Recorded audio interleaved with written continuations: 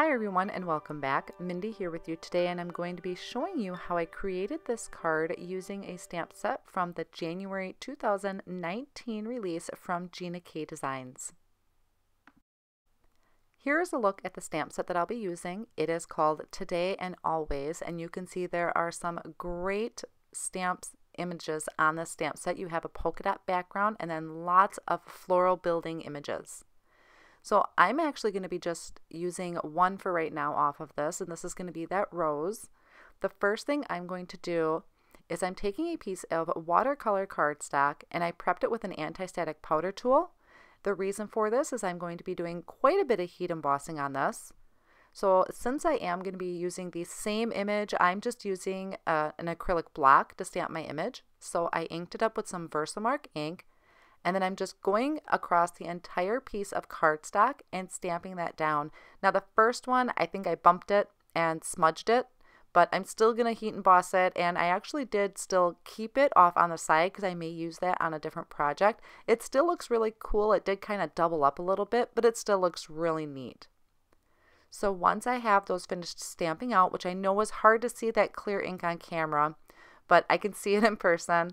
I'm going to take some gold embossing powder, and this is from Gina K Designs, and I'm just sprinkling that all over those images that I just stamped down. Since I did use Versamark ink, it's a clear sticky ink, so all of my embossing powder is going to stick to that.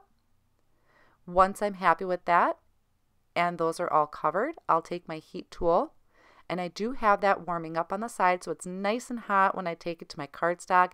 That's just going to help eliminate some warping. And then I'll melt those down till they're nice and shiny and let that sit for a couple minutes to cool off. Once my panel was cooled off, I taped it down to a wooden board with some Therm O Web purple tape and I'm wetting the entire background. Then I'm going to use some violet brocade. This is shimmer powder, and to me, this is kind of a cheater's way of watercoloring. I don't do a lot of watercoloring, but I love the look of the shimmer powders. So I'm just sprinkling this on to my wet background, and then I'm going to add some more water to get that shimmer powder to move. Because I heat embossed, it does want to kind of get stuck in certain areas, which is perfectly fine. That just adds more character to the images. Uh, some areas were more stuck than others, so I will bring in a paintbrush to kind of move that around. I wanted that color to really be in all of those nooks and crannies. So just spreading that around those petals a little bit. I just thought this was kind of a nice way to watercolor if you're not uh, real familiar with watercoloring or comfortable with it.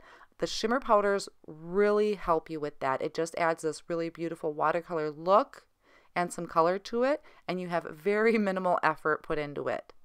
And with the shimmer powder, you do want to just tap the bottle. You do not want to squish it and have that come bursting out all over your table, or you will have a huge mess.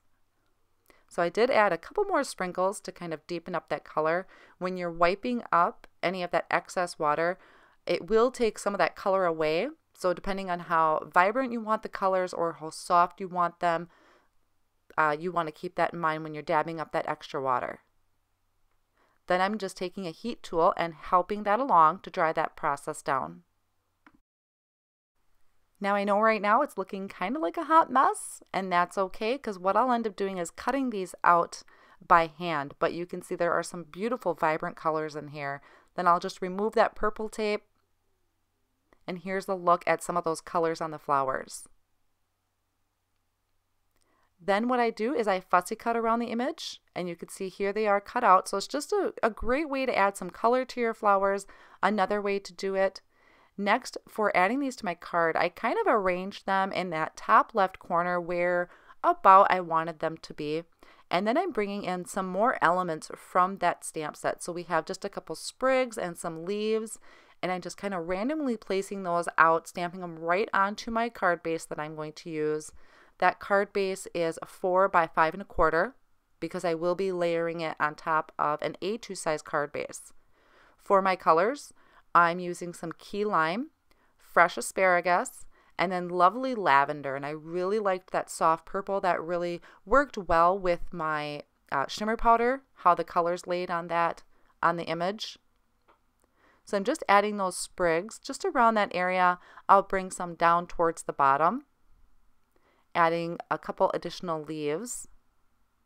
And that key lime is such a great vibrant green. I think that's one of my favorite greens right now. And so this stamp set has a lot of different things you can do with it. There's going to be more inspiration on the Gina K Designs blog, which I'll have listed down below. And I'll also have all of the supplies listed for my card as well. Now you could just use an acrylic block to do all of your stamping. I just find it easier to use the Misties, so if I wanted to double stamp something to darken up that color a little bit, I can do that very easily.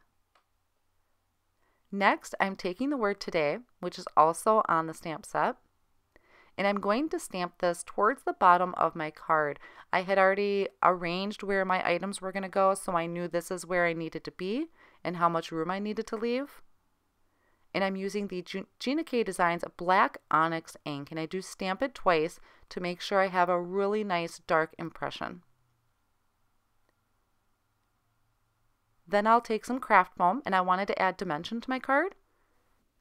I trim the craft foam down to the same size as my panel and then use the connect glue to attach them both.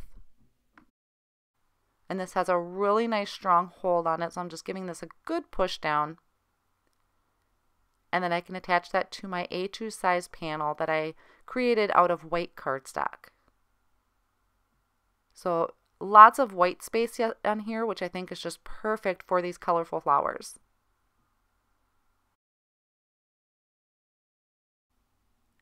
Next, I can go on and start adding on my floral images. So I'm applying these directly to the card panel, the ones that are going to be underneath, and I just use the liquid glue to do that kind of hovering over with the one I want on top. The one with the most color is the one I wanted on top.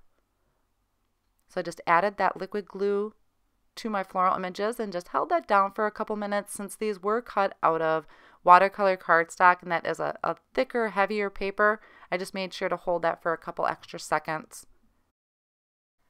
And I am really loving Gina's foam squares. These are just the perfect size when you want to add a little bit of dimension to your images or onto your card. You can double up if you wanted to add a little bit more lift to them, but I really liked adding just the one layer to my center flower. And I'll just add that to that little cluster I created at the top. And off camera, I did go ahead and stamp and heat emboss my little sentiment, sentiments. So I stamped them in Versamark ink on black cardstock and then heat embossed with gold embossing powder. And I just trimmed them down to very tiny strips that I'm going to put around my today's sentiment on the card.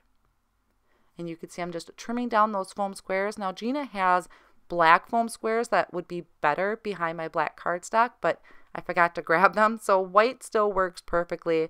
I just thought black would have been a better fit if I would have remembered at the time. And that is going to finish up my tutorial for this card. I also have a few card examples at the end of the video using some of the stamp sets from the January 2019 release. These are going to be available on Gina's website January 24th, 2019. So be sure to head on over there and pick those up. And I will be uh, creating some more tutorials using those stamp sets at a later date. Thank you so much for stopping by today. If you enjoyed the video, please give it a big thumbs up and subscribe to my channel if you haven't already done so and you want to see more tutorials from me. Thanks again, and I'll catch you next time.